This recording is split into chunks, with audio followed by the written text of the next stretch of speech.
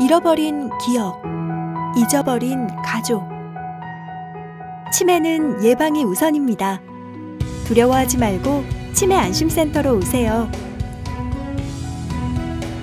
대전광역시 치매 안심센터가 치매 없는 건강하고 행복한 노후로 가는 다리가 되어드리겠습니다. 치매 안심을 위한 원스톱 서비스.